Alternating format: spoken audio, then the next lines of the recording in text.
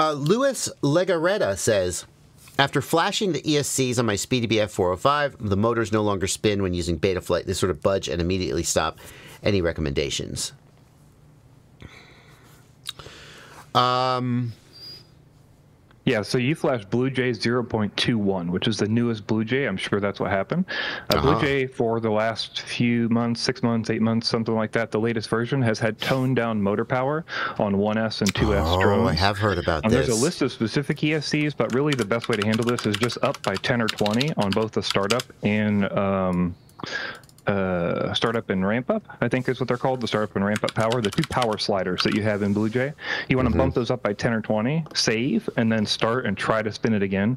Bump them up by 10 or 20, save, start, uh, try to spin them again, etc. And then do that until your, you know, that stuttering stops happening. Basically, it's because they're trying to be safer, but that means that the startup powers are going to be too low for some motors to spin. But what it should mean is that if you do this correctly, then your motor shouldn't burn out when you try to do things like turtle or get stuck on a brand. Yeah, yeah, so having startup power too high makes you much more likely to smoke the motors if you're trying to turtle and the motor is jammed.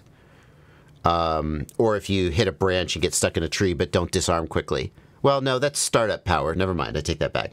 Um, it's really turtling or trying to arm when the motors are blocked. if the startup power is too high, you'll smoke the motors. Um, and I, I, I, I don't know if it's uh, somebody. I'm not going to look it up. I was in a chat with somebody, and he was like, "Here's Oscar Liang's recommendation for." Configuring BLHeli ESCs. And I, I don't want to attribute this to Oscar Liang. I think that's where it came from. Maybe it was somebody else. But he was like, yeah, set startup power to 100%. I was like, whoa. uh, yeah, okay. But you're going to like massively increase the odds that you smoke your motors.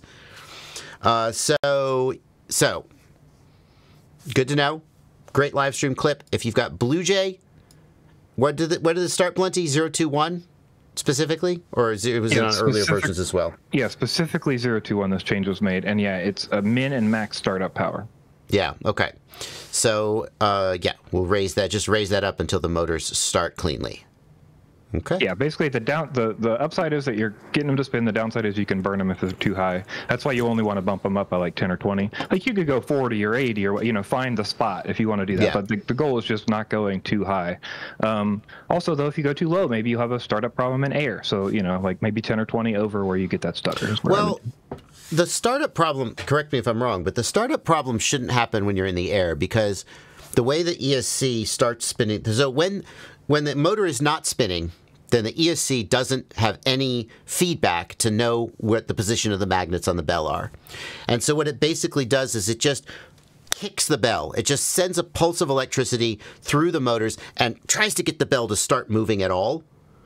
And then once the bell is moving, there's back EMF that tells it where the where the magnets are, and it can begin the actual commutation process. And that's why when the motors start, sometimes they'll go, whoosh, whoosh, whoosh, whoosh. it's trying to sort of kickstart it, kind of like turning over a, a kickstarted motorcycle engine. You're waiting for it to catch. But then once the motor is spinning, now the startup power doesn't matter because once commutation's occurring, it would only be, I guess, if you had a desync in the air and needed to do, well, then they would do blind commutation, and I don't think startup power applies there either.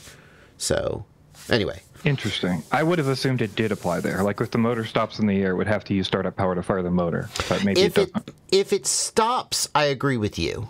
Like if it stalls, like for instance, if yeah. you don't have dynamic idle set up and you're you got by, like backspin on the prop or something. That's fair. I could see that. I don't except know I don't think it. I think that most of the time when that happens, the motor doesn't literally stop. I could be wrong. I think it like is still I don't know. I could be wrong. If it stops, then yeah, you're 100% right. But at that point you're falling out of the air and it's probably not going to start again. Right. I would think. Fair I enough. would think once it stalls, it's it's go, it might try to start it again, but uh, it's not going to start it. But then will it smoke it? I don't know. That's a good point. Fair enough. Always always good arguing technical stuff with Blunty. I think I feel like I always learn stuff.